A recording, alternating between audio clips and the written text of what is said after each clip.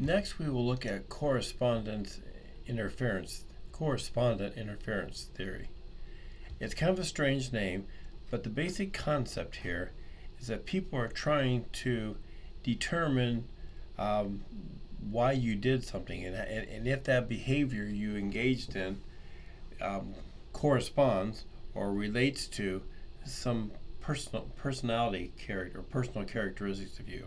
So again, think about the correspondence, a strange name, but think about correspondence. We're looking at does it relate to? So in other words, if you're doing some action, is that something that's typical of you or is it something that's atypical of you?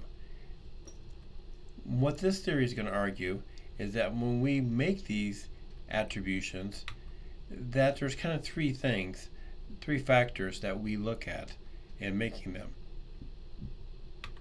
The first factor is how much choice did you have in that behavior that you just did.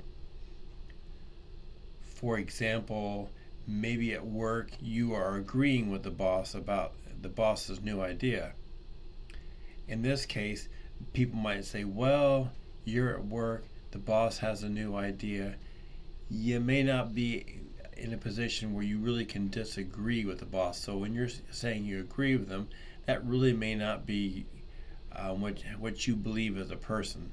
You, makes, in other words, it, we can make more of an external attribution than an internal. Because there's a strong reason suggesting externally you want to keep your job or maybe you're afraid of um, retribution from your boss if you disagree with your boss. Those type of things might lead people to make more of an external attribution for your behavior.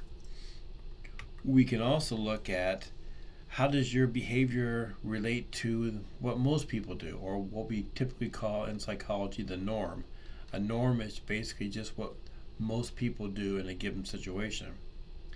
And so if your behavior is atypical, it's not what most people would do in that situation, that would tell us give us give us more of an idea that this that we should make an internal attribution because that's suggesting it's more about who you are as a person rather than the situation because if you're doing what everybody else would typically do we don't know if you're doing that because you believe that or it's because you want to fit in and and not stand out from the from the norm.